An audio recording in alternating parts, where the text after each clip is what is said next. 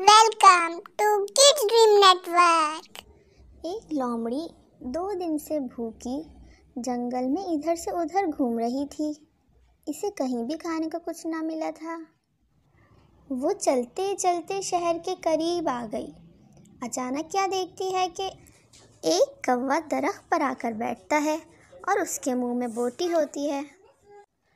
लोमड़ी कौवे के पास जाकर कौवे को कहती है अस्सलाम वालेकुम कौवा कोई जवाब नहीं देता। वो सोचती है कि इसने तो सलाम का जवाब भी नहीं दिया। फिर वो कौवे की तारीफ़ करना शुरू कर देती है। भाई कौवे, तुम कितने खूबसूरत हो। तुम्हारे पर कितने खूबसूरत हैं।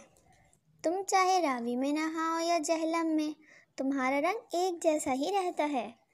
सचमुच तुम परिंदों के राजा हो राजा। भाई कव्वे, तुम्हारा गाना बहुत मीठा है। बांसुरी से भी मीठा। ज़रा कोई गाना तो सुनाओ। मेरे कान तरस गए हैं तुम्हारी आवाज़ सुनने के लिए। कौवे ने अपनी इतनी तारीफ़ सुनी, वो तो फूल कर कुप्पा हो गया। इसने गाना गाने के लिए चोंच खोली। चोंच खोलते ही उसकी बोटी नीचे जा गिरी। लोमड़ी बोटी उठाते ही जंगल की तरफ़ भाग गई और कौवा मुँह देखता रह गया।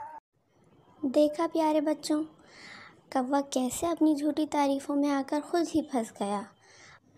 आप भी कभी किसी की झूठी तारीफ़ों में नहीं आए।